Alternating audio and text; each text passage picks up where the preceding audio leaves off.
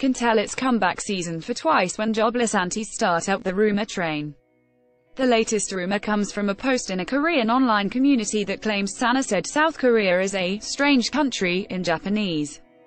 The Korean subtitles read Strange Country, while the English subtitles read Wonderland. The word Sana used fushigi in Japanese has several meanings and is closer to mysterious or wondrous rather than strange. Ad choices advertising inRead invented by Teads. Furthermore, the Korean words are actually used in the Korean title for Alice in Wonderland, which further implies Sana was referring to being in Wonderland not a strange country.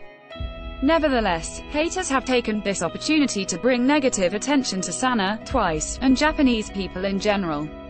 Sana, screw off from the strange country of Korea. Why do Japanese people feel such inferiority to Korea?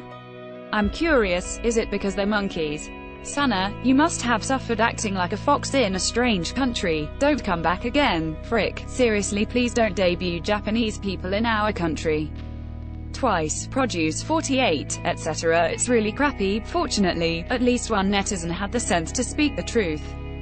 Another hate post popped up, twice must be having a comeback soon. Your browser does not support video. You've never heard twice quite like this before.